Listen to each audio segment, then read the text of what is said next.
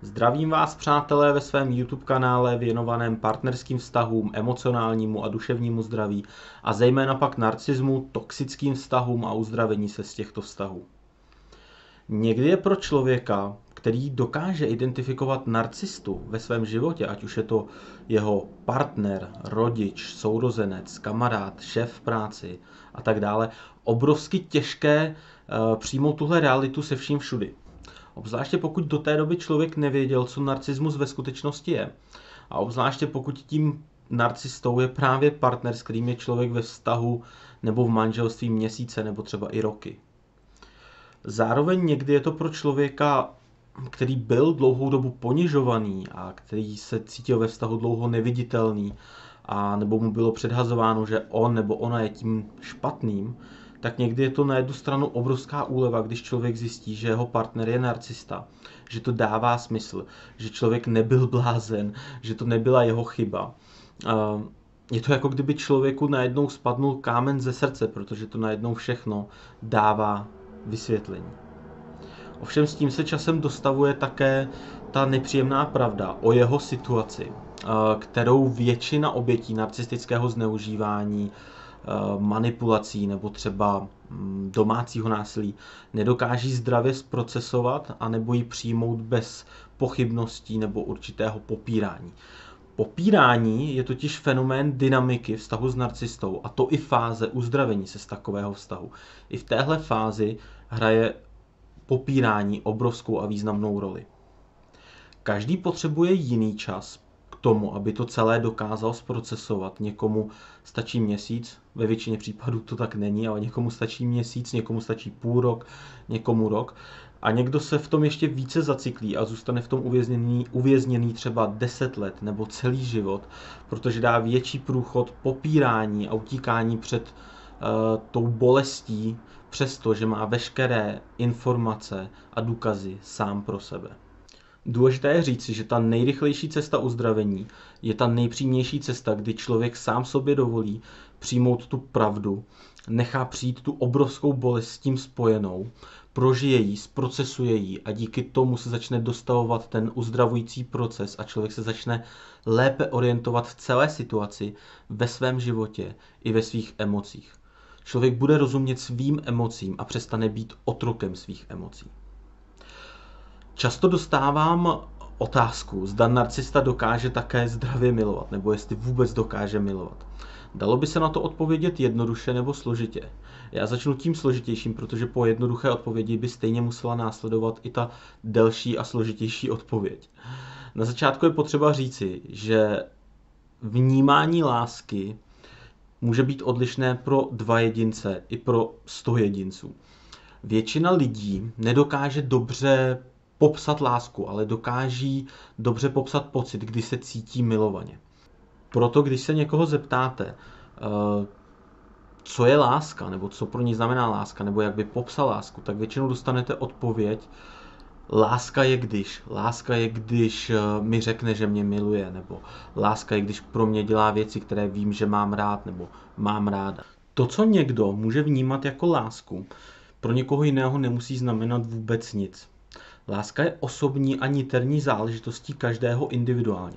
Narcista by pravděpodobně řekl, že to, co cítí k vám, takže je láska z jeho pohledu.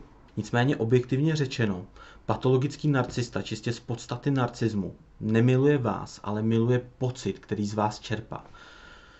Pro něho nebo pro ní, jednoduše pro narcistu, není partnerský vztah o lásce, ale o čerpání a živení se z pocitů druhých. Tohle je samozřejmě nesmírně, ale nesmírně těžké přijmout pro kohokoliv, kdo s narcistou žije x měsíců, let nebo i desetiletí a pokud jsou v manželství nebo spolu mají děti. A je to jeden z největších důvodů, proč si lidé v takové situaci nechtějí připustit pravdu. Protože to by znamenalo, že celou dobu věřili, že je jejich partner miluje, zatímco to tak nebylo. Zatímco miloval pouze pocit, který mu člověk dával, nikoli v člověka samotného. Je to velice, velice bolestivé a mnoho lidí před tou bolestí raději utíká. A nikdo za to samozřejmě nikoho nemůže soudit. Ovšem je to právě ten člověk, který předtím utíká, kdo se tomu bude muset jednou postavit a převzít zodpovědnost za to, že předtím tak dlouho utíkal. Ani ne tak za to, že do toho vstoupil, protože člověk to často neví, nemůže ovlivnit to, ke komu je přitahovaný, nemůže ovlivnit to, že ho někdo zmanipuluje, ale může ovlivnit to, že utíká před pravdou a před bolestí. Ve zdravých vztazích vypadá partnerská láska jinak než ve vztahu s narcistou. Pro narcistu existuje pouze jeden rozměr a to, jak vnímá lásku on nebo ona. Narcista zaměřuje veškerou svoji pozornost na to, získat co nejvíc lásky, pozornosti a zdrojů od partnera za vědomně nutnou, ale co nejmenší investici naspět. Narcista totiž ví, že kdyby nikdy nedal nic, co by připomínalo lásku, tak by celá jeho hra přestala fungovat a on by přišel o zdroj, který ve vás má nebo který má ve svém partnerovi. Proto občas dělá gesta, ale jsou to gesta cílená, která nemají trvalou hodnotu a rozhodně nejsou dělaná z lásky. Ovšem opravdová láska v partnerském vztahu nemá jeden rozměr, ale minimálně dva rozměry. První je to, jak lásku cítím a prožívám já jako člověk. A druhá, možná ještě důležitější, jak svoji lásku nechávám cítit druhého člověka tím způsobem, eh, jakým je on nebo ona schopná a vybavená pro sebe tuhle lásku přijímat. Existuje skvělá kniha, která se jmenuje Pět jazyků lásky. Uh, vypadá takhle. Je na českém trhu už minimálně 15 let a prvně jsem ji četl někdy před 13 lety a naposledy minulý rok. A napsal ji Gary Chapman, kde je krásně vysvětlené, že člověk má jeden nebo více jazyků lásky, konkrétně jich pět, že podle názvu pět jazyků lásky dává to smysl. A v partnerských vztazích je důležité mluvit ke svému partnerovi tím jazykem lásky, který má váš partner, ne tím jazykem lásky, který máte vy. Tím k vám má zase mluvit váš partner. Jen v rychlosti do souvislostí řeknu, že těmi jazyky lásky prvním z nich je pozornost, tedy že člověk se cítí milovaný skrze to, že jeho partner si ho všímá, dává mu pozornost v davu, kdekoliv jsou. Prostě člověk se cítí milovaný, že druhý mu dává pozornost a vyjadřuje mu tímhle svoji lásku. Dalším jsou skutky služby. Eh, zase je to o tom, že člověk dělá něco pro někoho druhého a díky tomu se ten člověk cítí milovaný. Třeba, že manžel vymaluje kuchyň pro manželku a ta díky tomu se cítí milovaná, protože ví, že to její manžel udělal pro ní. Je to, že člověk dělá něco pro druhého. Eh, třetí jazyk lásky so je přijímání darů. Není to zase materialistické, jednoduše člověk se cítí milovaný, že na ní druhý myslí tím, že ho obdarovává a díky tomu cítí lásku. Eh, čtvrtý jazyk lásky je takzvaný fyzický kontakt. Zase nemá to sexuální podtext nebo kontext. Jde čistě o to, že člověk se cítí milovaný a jeho jazyk lásky je, když mu Eh, když ho druhý chytne za ruku, pohladí ho, políbí ho na krk, na ucho, kamkoliv, eh, obejme ho. Jednoduše skrze fyzický kontakt se člověk cítí milovaný. Ehm, a poslední jazyk lásky jsou slova ujištění, tedy že člověk řekne třeba manželce, manžel řekne, uh, uvařila si skvělou večeři, jsem rád, že mám tak úžasnou ženu, která je tak skvělá v domácnosti a umí vařit. Jsem na tebe hrdý, mám tě rád. Slova ujištění. A chtěl bych říct, že za sebe jsem přesvědčený, že tahle knížka by měla být povinnou výbavou každého, kdo vstupuje do vztahu nebo kdo vstupuje minimálně do manželství. E, pro ty z vás, kteří žijete e, s narcistou nebo jste ve vztahu nebo v manželství s narcistou, mám ale jednu smutnou zprávu. Tahle kniha nebo tyhle principy s narcisty bohužel nefungují. Tyhle principy fungují pouze s člověkem, který je vybavený a motivovaný k tomu chtít, aby se druhý cítil milovaný a k tomu, aby se druhý cítil šťastný. To ovšem není cílem narcisty, ba naopak toho se narcista bojí, že by se člověk cítil šťastný a že by se člověk cítil jistě ve vztahu. Protože v ten moment by se partner přestal snažit získat si tu iluzi lásky, kterou se narcista snaží čas od času člověku předhazovat a vydává to za lásku a tím by ztratil přísun všeho, na čem je narcista závislý a co potřebuje ke svému životu a to je živit se z pocitů a emocí druhých. Narcista není schopen upřímně a nesobecky milovat nikoho. A tohle tvrzení, myslím tak, jak to říkám, do nejmenšího detailu nebo důsledků. Pokud by se vůbec dalo to, co narcista dává, nazvat láskou, tak eh, je to láska vypočítavá a podmínečná. Narcista nedokáže bezpodmínečně milovat nikoho, ani sebe, ani svého partnera a bohužel ani svoje děti. Tohle je vlastně ta nejsmutnější věc, že narcista nedokáže bezpodmínečně milovat ani svoje děti. To také mnohdy působí to, že děti si nesou velké následky ze, ze svého dětství, kdy vlastně přijímají od svého rodiče, který je má milovat bezpodmínečně, tak místo bezpodmínečné lásky od něj přijímají podmínečnou lásku.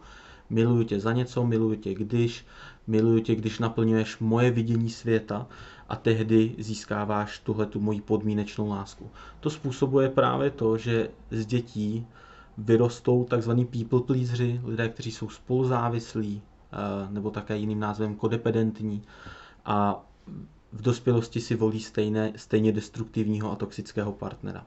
Ale zpátky k lásce. Zdravá láska v partnerském vztahu se vyznačuje vzájemností. Dávám druhému, protože ho miluju. Dávám mu upřímně. Lásku, péči, respekt, starám se o ně. A pokud mám vedle sebe zdravého partnera, tak ten dává zpátky zase mě. Nedává za to, co jsem mu dal, ale dává proto, že mě miluje. Ve skutečnosti v toxických stazích s narcisty je partner narcistou vtažený do zničujícího a vyčerpávajícího modelu takzvané transakční lásky.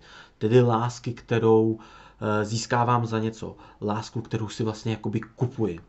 A pokud bych to měl nazvat pravým jménem, eh, není to láska, ale je to obchod, kde si kupuji ne lásku, ale pocit lásky nebo iluzi lásky. Um, je to to, co člověk prožívá ve vztahu s narcistou a co ve většině případů uh, oběti narcistického zneužívání zaměňují za lásku. A také na tuto transakční lásku často přistupují. Pokud žijete s narcistou, máte jistě právo to nechtít přijmout a nechtít to slyšet. Je to přirozená reakce a každý člověk potřebuje určitý čas, aby tohle vědomí dokázal zprocesovat skrz bolest, emoce a prožitky. Nicméně dal jsem si závazek, že v tomhle YouTube kanále budu mluvit napřímo a na rovinu a budu nazývat věci pravým jménem. A to znamená, že některé věci, které říkám, budou možná pro někoho bolestivé. Zároveň skrze coaching, mentoring a terapii pomáhám klientům tuhle bolest a realitu uchopit, prožít a především uchránit jejich psychické zdraví a pomoci jim najít nové věci v jejich životě, po kterých touží, které jsou zdravé. A to, jak můžu pomoci v téhle oblasti skrze tyhle videa komukoliv a jak tímhle způsobem můžu uchránit třeba i vaše psychické zdraví, je to, že zbořím mýty a nenechám oběti narcistického zneužívání žít ve falešných představách, očekáváních a pohádkách, které je v takovýchto vztazích drží. Pokud se vám tohle video líbilo, můžete dát like, dát tlačítko odebírat.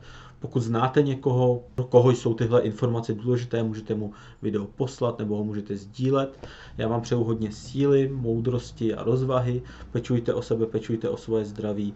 Učme se mít se rádi a učme se také zdravě přijímat tu zdravou lásku. Mějte se hezky a v dalším videu ahoj.